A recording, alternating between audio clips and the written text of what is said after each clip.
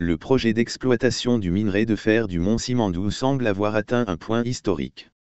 Les accords afférents vont bientôt être soumis au Conseil national de la transition en vue de leur adoption et ratification.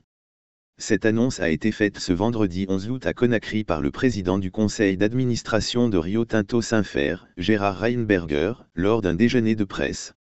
Cette ratification marquera la conclusion d'un processus qui a débuté avec la signature de l'accord cadre en mars 2022, suivi de celle du pacte d'actionnariat en mars 2023, puis des accords fondateurs pour les infrastructures portuaires et ferroviaires du Trans-Guinéen, signés ce jeudi 10 août.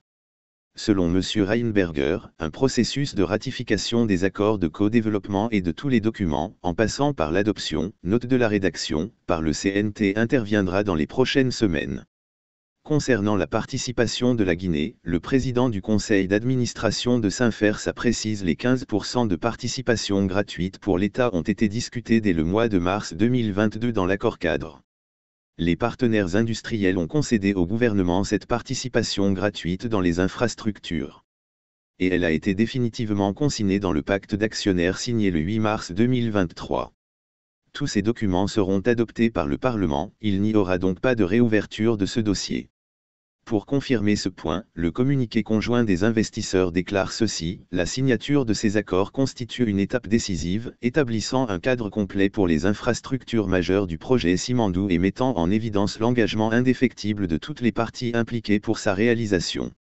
Une autre information importante de l'échange avec le PCA de Rio Tinto Saint-Fer est que Moribaya n'est pas un port en eau profonde, le plan initial prévoyait la construction d'une jetée de 18 km pour accéder aux navires en eau profonde.